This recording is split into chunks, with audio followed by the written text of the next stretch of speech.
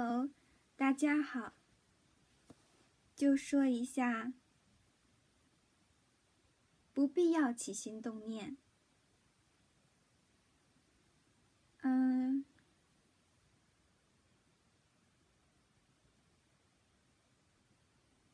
老子也说过无为。老子呢，和释迦牟尼佛，还有孔子，都是大圣大贤。我深深的相信，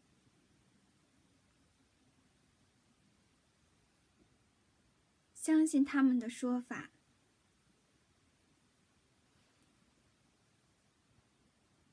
嗯，可能还会有一些疑问，就是不是深信不疑，可能有一点点疑，可是还是信，而且呢是很信。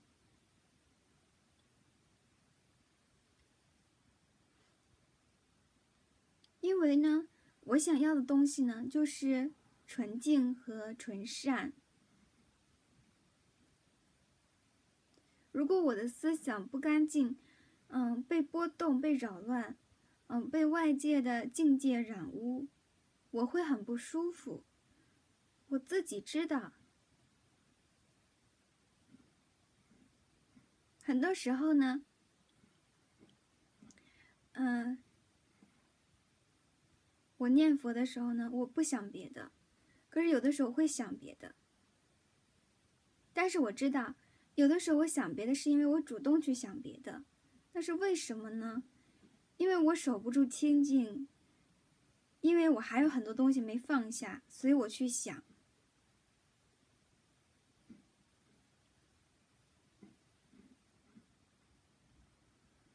那你，那你要怎样放下？你只有慢慢的，啊，去修行，一点一点的，境界提高的时候呢，就放下，放下呢又帮助境界提高，这样，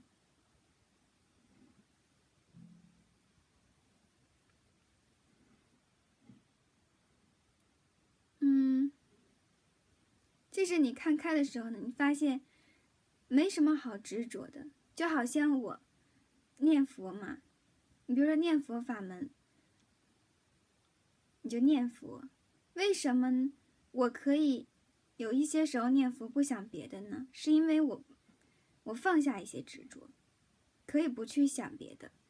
为什么有的时候我又去主动想别的呢？因为我还在执着一些事情，因为我还要去想这些。可是你看到。你念佛的时间，你可以不想别的的时间越来越多的时候，哪怕是多一秒，这都是一秒的进步。